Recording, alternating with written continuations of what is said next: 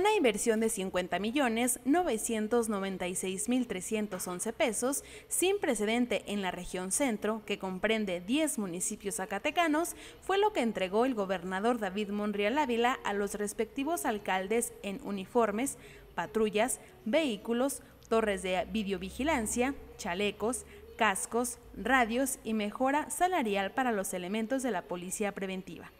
En el marco de la sesión del Consejo Intermunicipal de Seguridad Pública, Región Centro, que conforman los municipios Calera, Enrique Estrada, Fresnillo, Genaro Codina, Guadalupe, Morelos, Pánuco, Trancoso, Grande y Zacatecas, el mandatario hizo entrega de estos recursos que respaldan la tarea de pacificación del Estado, así como el bienestar y progreso de su gente. En un esquema de peso a peso y con la conjunción de recursos de los fondos de aportaciones para la seguridad pública, de aportaciones para el fortalecimiento municipal y de las demarcaciones Fortanún y para fortalecimiento financiero, fue posible adquirir y distribuir 420 uniformes, 10 patrullas, un vehículo blindado, dos torres de videovigilancia, un dron, 40 chalecos, 60 gogles, 60 cascos, 96 radios portátiles, 3 obras, así como recursos para incorporar a 28 elementos de 5 municipios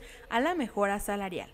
El gobernador David Monreal reconoció a las y los presidentes municipales por su respuesta positiva al llamado que hizo para mejorar el salario de los policías en sus demarcaciones, así como sus herramientas de trabajo, vehículos e instalaciones. Refirió que su aspiración es que al término de su sexenio las fuerzas policiales en Zacatecas sean de las mejores del país en salario, capacitación, espacios físicos y equipo, para que puedan brindar un mejor servicio a la población y tener mayor eficacia y eficiencia para brindar seguridad.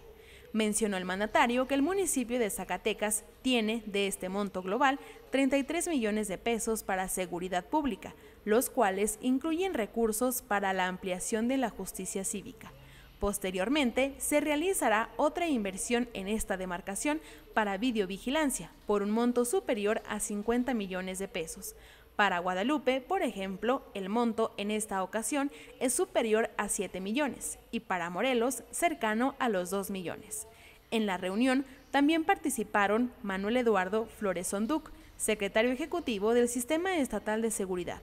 el general Arturo Medina Mayoral, secretario de Seguridad Pública, así como los presidentes municipales de Guadalupe, Zacatecas, Calera, Enrique Estrada, Morelos, Pánuco y Beta Grande,